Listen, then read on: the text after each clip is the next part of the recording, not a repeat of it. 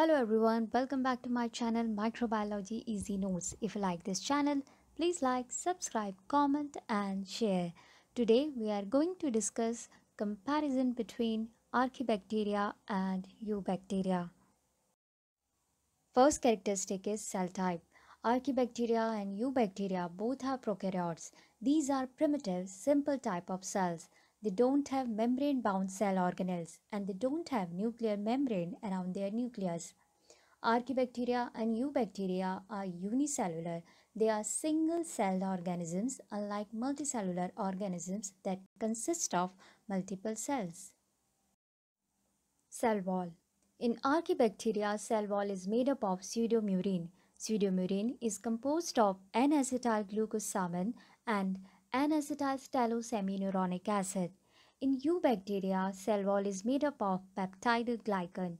Here, peptidoglycan is composed of N-acetylglucosamine and N-acetylmuramic acid. Next characteristic is amino acid. Archaebacteria produce very few D-form amino acid, while eubacteria produce variety of D amino acids. Next feature is cell membrane. In Archaebacteria, cell membrane can be monolayer, that means single layer cell membrane is present, or it can be a bilayer, means double layer cell membrane can be present, while in Eubacteria, cell membrane is always bilayered.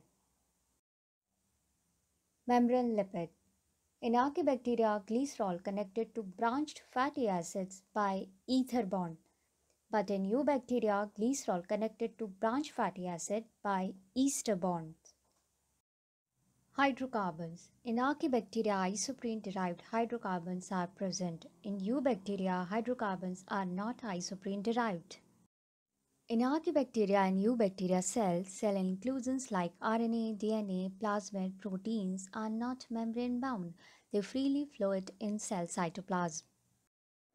Ribosomes. In Archaebacteria, 70S ribosomes are present, where 50S is larger subunit and 30S is smaller subunit.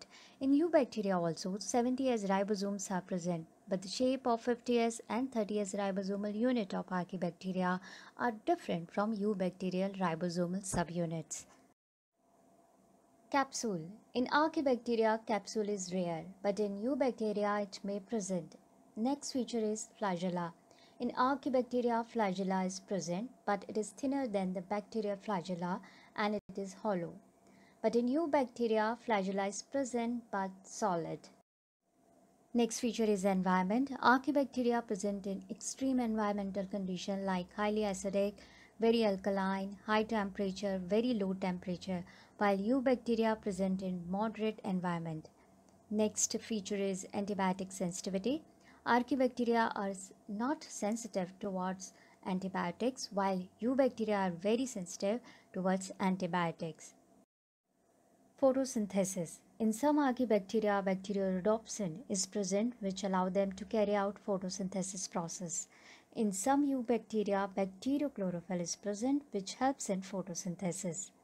Next feature is methanogenesis. Some archaebacteria produce methane as byproduct of their metabolic process, but in eubacteria, methane production is absent. Examples Archaebacteria examples are Methanococcus and Halobacterium.